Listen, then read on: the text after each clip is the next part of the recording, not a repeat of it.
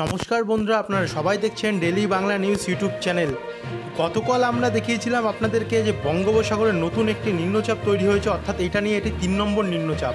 তো এই নিম্নচাপটা কোথায় কোথায় তার প্রভাব বিস্তার করবে বাংলাদেশ এবং পশ্চিমবঙ্গ এবং উড়িষ্যা, ত্রিপুরা, অসমে?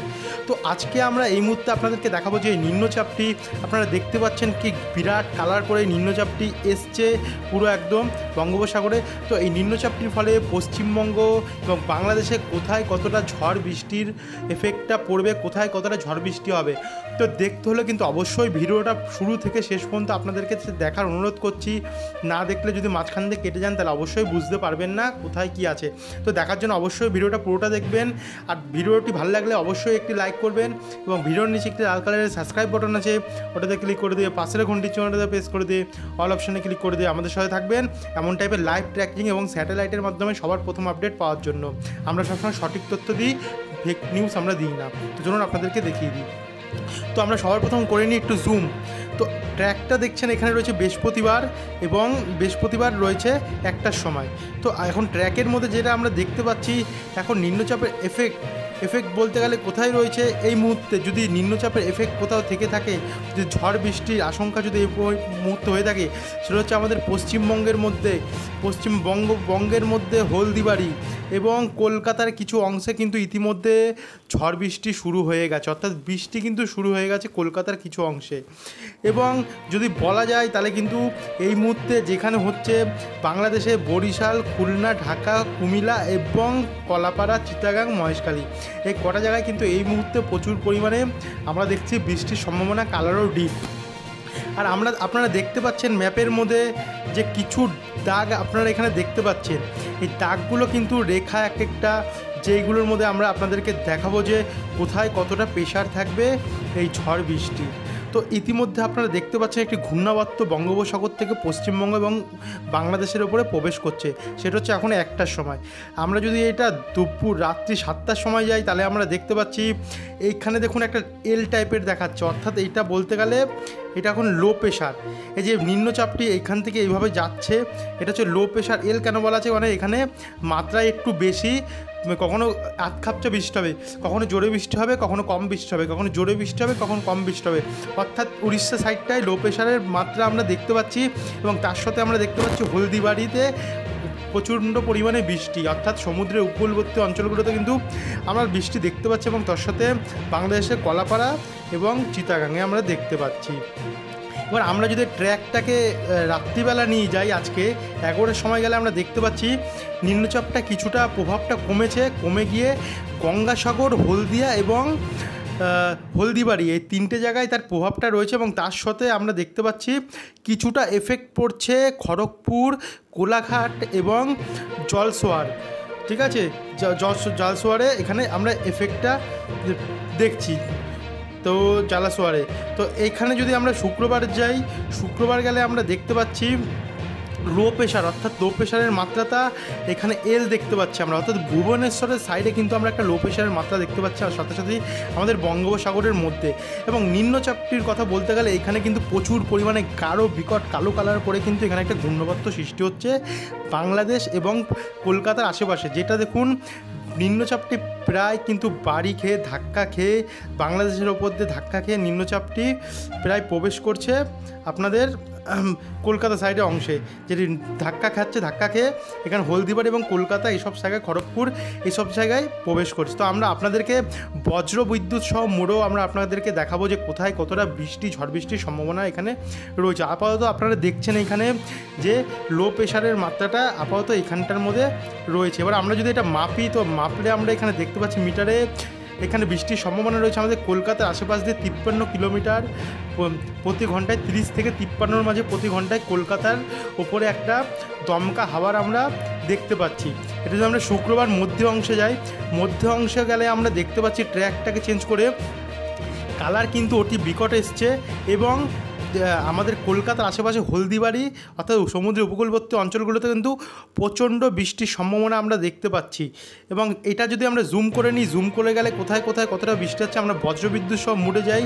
তাহলে আমরা যদি বজ্রবিদ্যুৎ সব মুড়ে যাই, তাহলে আমরা দেখতে পাচ্ছি এখানে, দেখুন, বৃষ্টি এখানে পুরো প্রায় নীল কালার করে এসছে।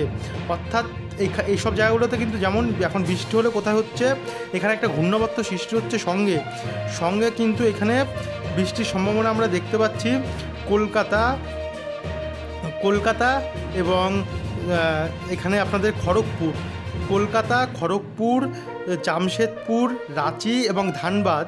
ধানবাদে কিছু হালকা প্রভাব থাকবে, কিন্তু ওপরের দিকে যদি আমরা যাই, তাহলে আমরা দেখছি দেওঘর এবং মালদা গয়া, পাটনা এইসব সাইডগুলোতে কিন্তু প্রচুর পরিমাণে আমরা বৃষ্টি দেখতে পাচ্ছি। এবং আমরা আমরা যদি এটাকে আরেকটু জুম করে নিই জুম করে গেলে আমরা দেখতে পাচ্ছি উড়িষ্যার ভুবনেশ্বর। উড়িষ্যা সাইডগুলোতে কিন্তু প্রচুর পরিমাণে বৃষ্টির সম্ভাবনা আমরা দেখতে পাচ্ছি, সঙ্গে বালাসোর এইসব সাইডগুলো এবং এটা যদি আমরা আমরা আরেকটু জুম করে নিই, তাহলে আমরা দেখতে পাচ্ছি এখানে কলকাতার ভিতরে চন্দননগর, কোলাঘাট, আরামবাগ, খড়গপুর চাকুলিয়া এবং সাইডের দিক দিকে যদি আমরা দেখতে পাচ্ছি শান্তিপুর, বর্ধমান, কাটোয়া, দুর্গাপুর এবং বাঁকুড়া, পুরুলিয়া এবং সাইডগুলো আমরা দেখতে পাচ্ছি সুরি তারপরে আপনাদের নৈহাটি এইসব সাইডগুলোতে কিন্তু প্রচুর পরিমাণে আমরা বৃষ্টি, আমরা একটা প্রভাব দেখতে পাচ্ছি অতি নীল কালার করে এবং ধুলিয়ান তারপরে আপনাদের গোদ্দা, মালদা তারপরে আপনাদের এখানে মানে বলতে গেলে প্রায় সব জায়গায় কিন্তু বৃষ্টি আমরা সম্ভাবনা দেখতে পাচ্ছি এবং উত্তরের দিকে যদি আমরা যাই তাহলে কিষানগঞ্জ, এখানে আপনাদের পূর্ণিয়া কারানদিঘি এইসব সাইডগুলো প্রচুর পরিমাণে আমরা বৃষ্টির একটা ঝাপটা আমরা দেখতে পাচ্ছি।